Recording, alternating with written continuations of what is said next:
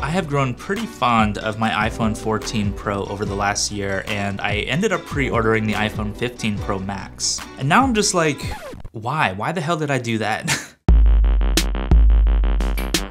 And the first thing is the size. Like I wanted a big phone. I've actually never owned, well that's not true. I had the iPhone 6s Plus. And since then I have preferred and gone naturally towards like smaller phones. iPhone 10, iPhone 11 Pro, 13 Pro, and then to 14 Pro. The 14 Pro I think is an amazing size. I actually love the size of it. So when the 15 series was announced and the 15 Pro, Pro Max were finally unveiled, I was like, okay, maybe this is the year where I'll actually get a 15 Pro Max, and that will be like the end game iPhone for me. I think that's gonna make a big difference when I'm at the gym and, you know, on a plane or just like watching stuff on my phone when I want it to just to be a little bit bigger than the 14 Pro. So the size will be cool, and also the five times telephoto zoom, which is the equivalent to 120 millimeters in a regular camera. Like, I think that'll be really cool. I do zoom in a lot, like kind of for dumb photos though. Like I'm not taking like art grade photos. I'm usually zooming in to like my dogs rolling around in the dirt in my backyard. Or if I see like a funny license plate or something, I zoom in and just like take a picture of that to post to Instagram or whatever. But it will be nice to have like a slightly better zoom or maybe a much better zoom. I don't know, time will tell. And the action button on the 15 Pro and the 15 Pro Max will take the place of the silent switch on these older iPhones. And you can customize it, you can make it your flashlight, I think I'm gonna make it my camera. I don't know. What are you gonna make the action button on your 15 Pro, 15 Pro Max? Let me know in the comments. I typically don't even put my iPhone out of do not disturb or the silent switch. Like I always have it on silent mode with do not disturb on like 24 seven. I don't like that many notifications happening in the first place. So it will be cool on the 15 Pro Max to have the action button where I can actually make it do something useful. The titanium in the 15 Pro Max is kind of a cool upgrade, I think, from the 14 Pro. I think it'll look really nice. It'll be more durable than this model, which is already pretty freaking durable, but there will be less fingerprints, which I'm kind of excited about. Uh, Y'all, listen, I'm not really like super excited about a lot of this stuff. This is one of the pre-orders for an iPhone where I was just like, oh, I gotta do it. But then after I did it, I was just like, okay, I'm kind of excited, but like, okay, well, what do I do now? What's next? Like, I don't feel the electricity of like, oh my God, this is like a breakthrough year for iPhones in the way that I did when like I got the 14 Pro coming from even the 13 Pro.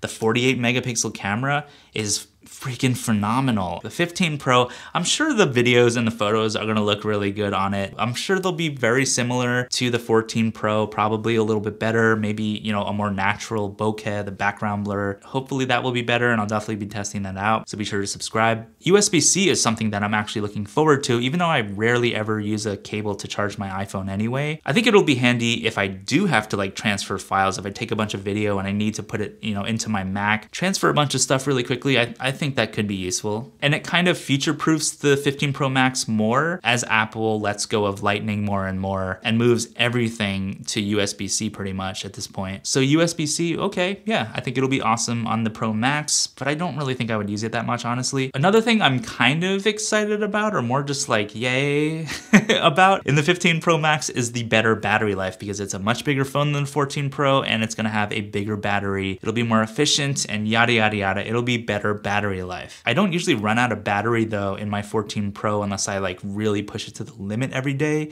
But with normal use, I can usually get through a day pretty easily without having to charge it. It's at 93% battery health, still, you know, a perfectly fine running phone. But the bigger battery in the 15 Pro Max will be pretty nice. And the action button is cool, but like we'll see how actually useful it is. Maybe it'll blow my mind. Maybe titanium will be like, oh my God, this is the end game iPhone. But I just have a hunch that it's just gonna be another iPhone with the same looking iOS iOS experience as on the 14 Pro and basically every iPhone ever. Like it's been very similar for a very long time, which is honestly not a huge complaint because Apple has nailed this software. Like iOS goes crazy. It has amazing features. There's so many new features in iOS 17 that I think are really useful and very fun to use. So when we all pop open our new iPhone 15 Pro and 15 Pro Maxes, is it gonna feel that different? I don't know. Like time will tell. I honestly don't think it's gonna be that different from my 14 Pro. This thing is fast as hell. Like I don't think this thing slows down for much. It's super fast and like I don't think the 15 Pro Max is gonna be that much noticeably faster with the faster A17 15 Pro processor. So my expectations are very low, but I kind of hope the 15 Pro Max just blows my expectations out of the water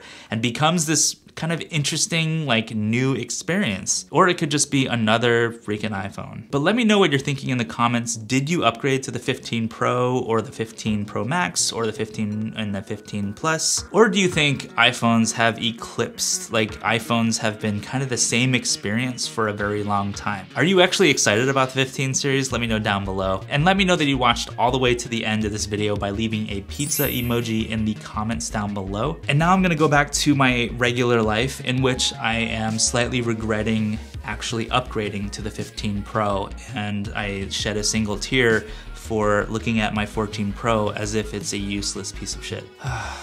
Regrets.